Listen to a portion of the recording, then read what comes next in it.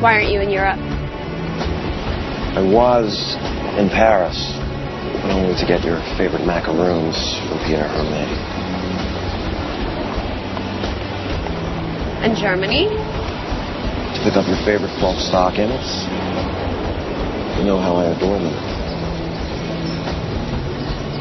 What are you doing here then? You were right. I was a coward running away again.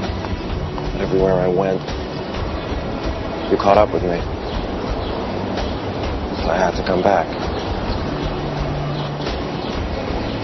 I want to believe you. But I can't. You've hurt me too many times. You can believe me this time. Oh. That's it?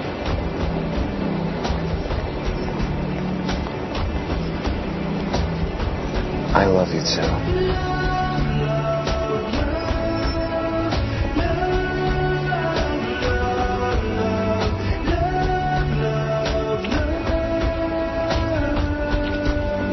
Wait, can you say it twice? no, seriously, twice.